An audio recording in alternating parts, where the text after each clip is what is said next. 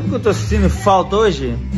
Das franguinhas virem aqui na minha rede social, fazer uma gracinha. Torcedores, calma. Cadê vocês, franguinha? Não vou zoar hoje não? Oh, tô esperando. Vem.